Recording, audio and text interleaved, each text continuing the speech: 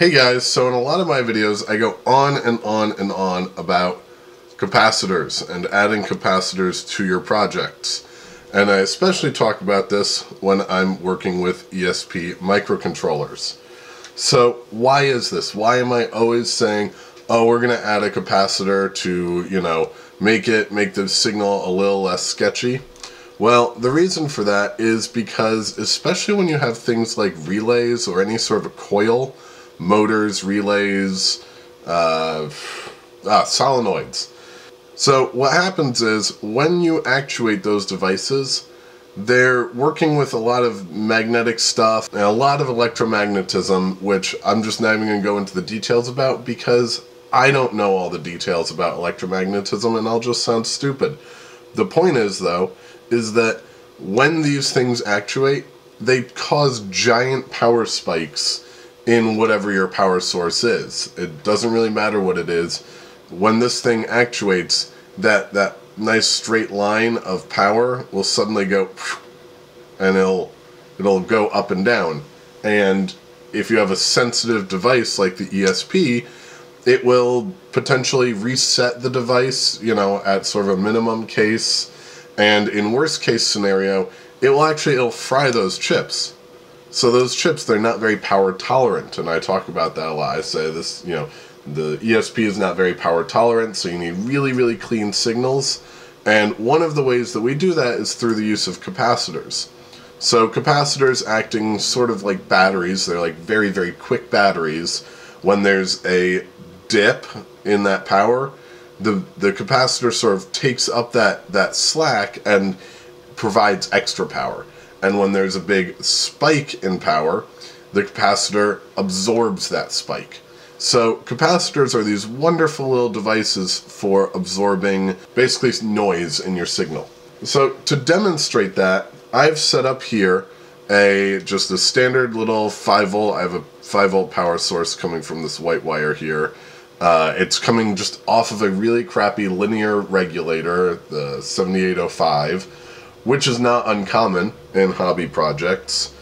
And I have a relay and I've wired that up to a little button so I can turn the button on and off. And I've connected it all up to an oscilloscope which is appearing in the, the top right of your screen now. So you can see we have a nice clean display. There's no signal on there yet. But if I push the button here, you'll see there's a giant signal that just happened. So you'll see, look at that. On the right and left, it's nice and flat, so that's our 5 volt signal. And then in the middle there, there's a giant dip and then a giant spike. And so that's caused by the relay, the coil in the relay activating, which closes the relay switch. So when you have that happen, like I said, I don't know all the physics of it, so I'm not even going to try to talk about it for fear of getting attacked. But What's happened here is we now have a giant dip and spike in our signal, which could reset this or it could fry it. And if you'll look, you'll see that the the difference here, okay, the peak to peak difference is 2 point something volts, and that's not even that bad. Watch what happens if I tweak the trigger a little bit and I get the relay actuating a few times. We're going to see an even bigger spike. Alright, there we go. So I took a few tries. I had to click the button on and off quite a few times. But there we go. Now we have a, peak to peak of 3.7 volts. So when that relay triggered on and off, it dipped down by about 2 volts and, and spiked back up by about 2 volts. And that's a huge range. I mean, think about that. It's dropping, the minimum here is 2.48 volts. That's less than you can run an ESP on. And then it spikes all the way up to 6.2 volts. That's way more than enough to fry the ESP. So, in this one little clip here, we can see that it's going to it's going to power off the ESP, and then it's going to fry the ESP, and that's just that's no good. So that's why I'm always adding capacitors to my projects. So if we put this little capacitor in, you'll see we'll probably, we're not going to get the perfectly clean signal because first of all, there is no perfectly clean signal. This is the real world. It's not theoretical. But the other reason is, is because it's just one capacitor. I'm throwing it into the circuit. I'm not doing any testing on it. So we're probably still going to get some spikes and dips, but hopefully it should be a lot less. Now that we have it all cleared out, we have the capacitor in place. This is a 1000 microfarad capacitor, by the way. Let's try this again. So I'm going to tweak the trigger level and we're going to see what our sort of new spikes are. Alright, so I've put this at 3.9 volt trigger and so there we go. You can see a little spike, a little little spike and dip there. And so now we have this little spike and dip, but it's way less than it was before.